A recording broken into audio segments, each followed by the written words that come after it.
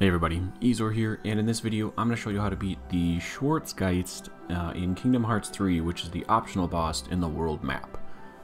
Now, this is a really interesting and fun fight, uh, however you do need a little bit of preparation in order to be able to get it to go through. First things first, I would definitely do all the constellation photos, or at least the first six in the first two worlds, just because you do need one of them. I used one of them, um, and really that's all you need is just the one and you'll be okay. You should be able to get this about that time. You can get all nine. Uh, you can use whichever one you like. I just found the Endymion um, to be one of the best ones uh, pre-built anyway. I did end up building one a little bit better a little bit later, but if you don't really like doing that or don't want to take the time to do it, I just recommend going for that. So snap the picture real quick and then you'll get the information on it. Now for the teeny ships, I would definitely wait until you have two of them, and I would just get whatever one you can get for the most offense, because you're going to need as much offense as absolutely possible in order to be able to get this fight. Uh, he takes a while to be able to kill, so that being said, you do need to have a speed of over 200 in order to be able to fight the boss, so uh, that's another reason why I went with this ship, is that it had a default of that. Once you get that all set up, go to the Misty Stream and waypoint MST-03. Right in front of that is going to be a giant vortex, and uh, literally all you do is just fly towards it.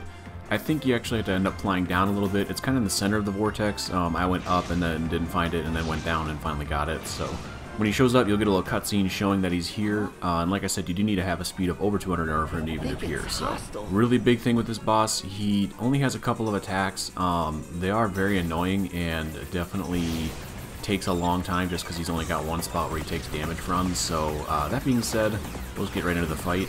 He deploys three shields here as you can see, and each one of those are just literally just uh, damage absorbers. They just stop everything. They do fire lasers at some point, um, but ultimately they're just there to kind of be more annoying than anything. So uh, the bottom legs, there's three of them. If you take all three of those out, he'll actually stop one of his attacks. He fires missiles from them, and they're homing missiles. They're not too hard to kill or avoid biggest thing is just, again, trying to uh, take them out uh, along the way. I wouldn't necessarily aim for them they're not overly difficult. I didn't mention that before, but I definitely want to bring the repair as the optional ability just for the simple sake of this is a long fight, like I said, and you do very little damage overall, so you're going to need that in order to heal.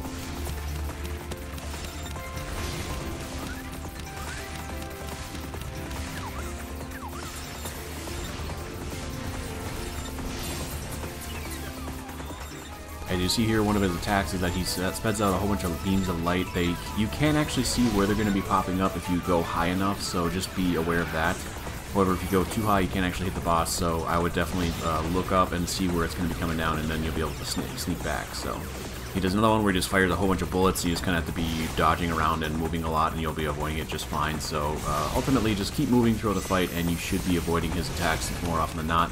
Laser beams are the only exception to that, so However, the one off-put about the laser beams is the fact that that's when you can actually damage him the most, and that's where you just have to, when he's firing the laser beams, get in a spot where he's not going to hit you, and then just unload into him, because it's going to be the only time that you can really get a lot of damage onto him. So once you uh, see him start doing those laser beams, get in the spot right away, and then just start going to town on him.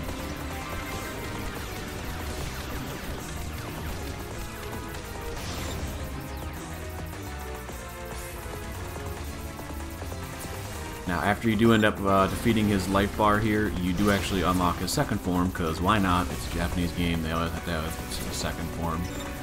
However, the second form is infinitely easier than the first. There's only two attacks that he does. He The biggest problem is just the fact that it moves around so much. It's very, very mobile. So you kind of take a couple of pot shots, you're trying to follow it around. Eventually it will stop. There's two attacks, which is just going to be, it charges the screen at you, uh, which you can easily avoid by just dodging out of the way. And the other one is that he'll stop and fire a whole bunch of uh, just regular attacks at you.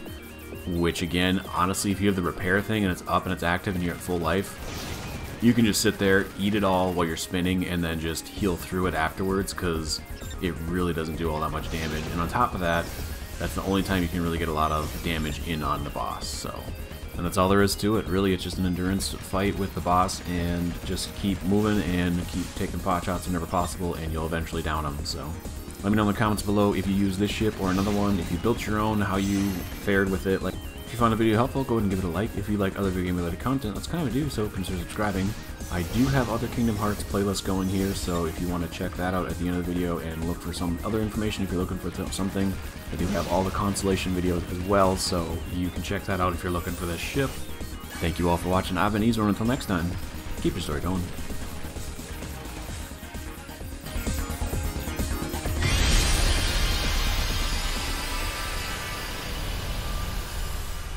Let's go.